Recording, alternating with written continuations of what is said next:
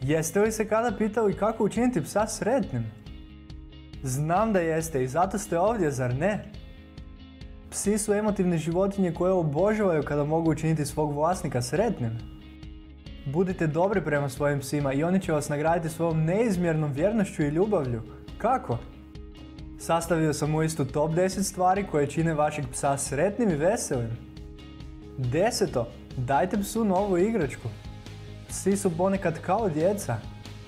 Nakon nekog vremena dosada im stare igračke te obožavaju kada dobiju nove. Što ako pas već ima puno igračaka? Ako vaš pas već posjeduje puno igračaka, pokušajte rotirati redoslijed onih koje ćete mu dati. To će razbiti monotoniju i dosadu te održati psa sretnim. Isto tako ako pas uništi igračku poput plišanca, nemojte vikati. Psima ponekad proradi prirodni instinkt da unište nešto i to im pomaže da ostanu oštri.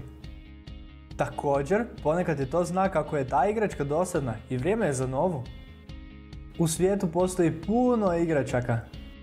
Pronađite onu koja će oduševiti vašeg psića i učiniti ga sretnim. Deveto, odvedite psa na šetnju ili trčanje. Psi ne vole konstantno biti zatočeni u kući ili boksu.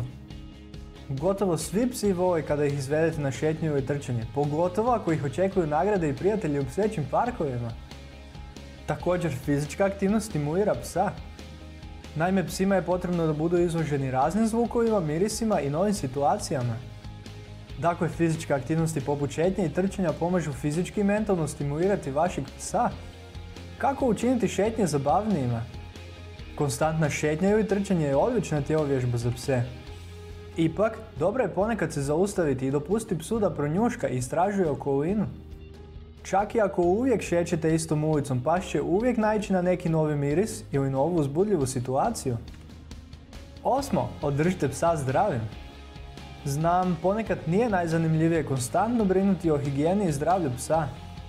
Ipak zdravlje je bitno kako bi se vaš kućni ljubimac osjećao sretnim. Održavanje psa zdravim podrazumijeva brigu o higijeni zuba, brigu za dlaku, prevenciju protiv buha, glista i krpelja, cijepljenje psa, preventivni posjet veterinaru svakih 6 mjeseci, praćenje znakova karakterističnih bolesti za pojedinu pasminu i brigu o težini psa. Zašto je zdravlje bitno za sreću psa? Konstantni bolovi i svrbež mogu učiniti psa anksioznim i nesretnim. Dakle, jedno od osnovnih preduvjeta za sreću psa je upravo njegovo zdravlje. Sedmo, dresirajte psa i naučite ga nove trikove. Psima je osim fizičke potrebna i mentalna stimulacija. Dresiranje je poželjno za pse jer su pametni i mogu naučiti nove trikove brzo.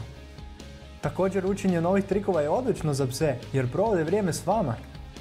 Dresiranjem uspostavljate posebnu vezu sa svojim kućnim ljubimcom. Također psi obožavaju provoditi vrijeme s osobom koja im pruža udobnost i sigurnost. Što napraviti ako je pas manje poslušan? Psi vole snažnog vođu koji postavlja ograničenja te nagrađuje za dobro ponašanje. Koristite poslastice i pohvale kao motivaciju za učenje, imajte realna očekivanja i vodite računa o svojim osjećajima. Više od resuri pasa možete vidjeti u posebnoj playlisti koju sam pripremio za vas. Link je u info kartici, odnosno gornjem desnom uglu ekrana. Šesto, dopustite psu da se druži s drugim psima. Naši krzani kućni ljubimci su društveni i u pravilu vole upoznavati nove ljude i pse. Naravno, uvijek ima izuzetaka i ponekad psi ne reagiraju najbolje na nove ljude i pse. Što napraviti da pas lakše stječe nova poznanstva? Ponekad se psi nelagodno osjećaju kada ih odjednom stavimo u prostor gdje se nalazi puno nepoznatih osoba i pasa.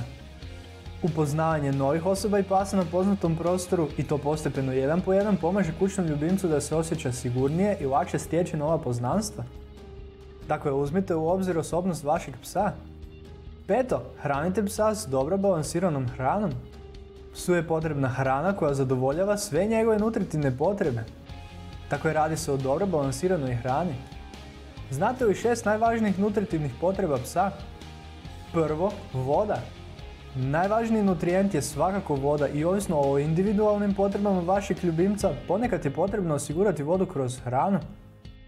Kao primjer, vlažna hrana sadrži 60 do 87% vode, dok suha samo 3 do 11%. Drugo, proteini.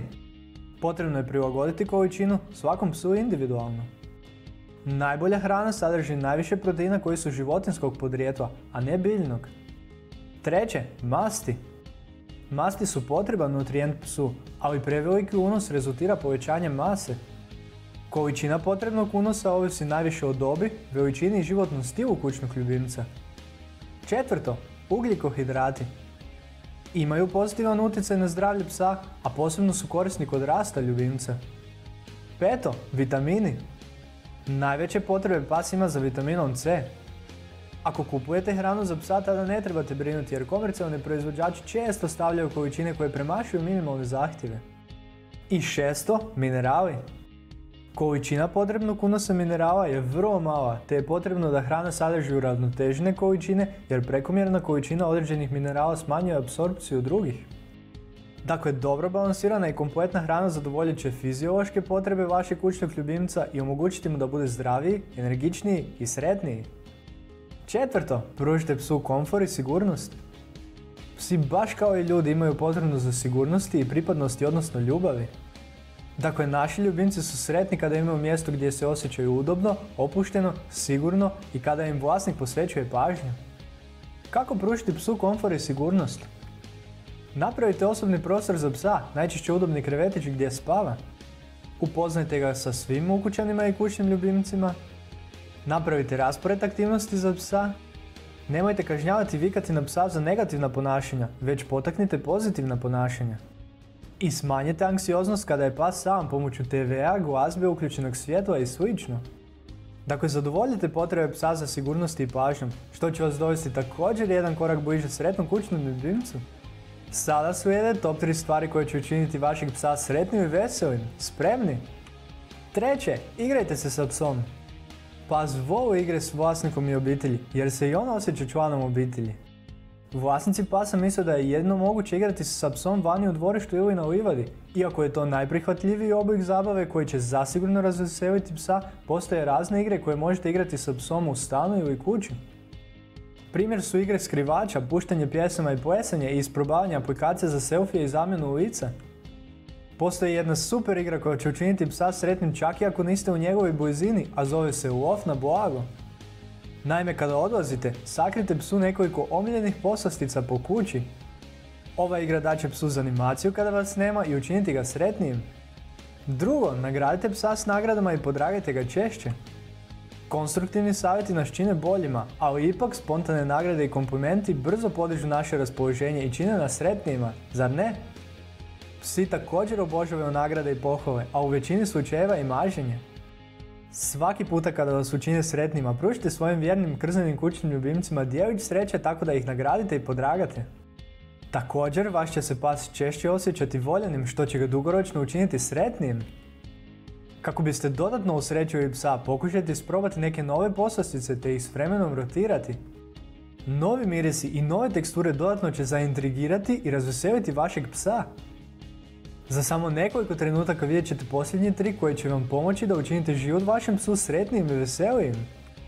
Naučite znakove koje vam pas pokazuje i reagirajte na njih. Naši kućni ljubimci često uspostavljaju snažnu vezu s nama i jednostavno im je potrebno naše društvo. Potrudite se da bolje raspoznajete neverbalne znakove koje vam vaš ljubimac daje kada ste u blizini. Primjer nekoliko znakova. Pas ima široko otvorene oči znači da pas traži pažnju. Pas se baca na leđa, vjeruje vam i želi vam ugoditi, podragajte ga po trbuhu. Pas stavlja šape na vaše koljeno s izazovnim pogledom, izaziva autoritet i želi dominirati. Pas se nasvanja na vas, traži kontakt ili vam donosi svoje igračke, voli vas. Pas je opušten, tijelo mu se trese i maše repom, sretan je.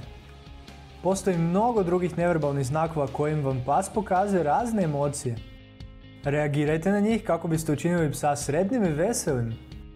Također, nemojte zaboraviti na vlastite emocije. Znanstvena istraživanja potvrdila su da psi mogu razlikovati ljudske emocije. Možda ste i primijetili da se pas drugačije ponaša kada ste napeti, sretni ili tužni. Dakle, budite opušteni i sretni pored psa kako bi se i vaš pas osjećao sretnim. Ako znate za još neke stvari koje sam propustio u ovom videu, a učinile su vašeg psa sretnim i veselim, svakako vas pozivam da ih podijelite sa svim ljubiteljima životinja kao komentar u opisu. Želite li vidjeti više? U opisu sam pripremio za vas linkove na video zapise top 10 stvari koje psi obožavaju, mrze i još mnogo više. Ako vam je video bio koristan i dobar, kliknite like i pretplatite se kako ne biste propustili nove u budućnosti. Sačuvajmo naše kućne ljubimce zdravima i veselima, lijep pozdrav!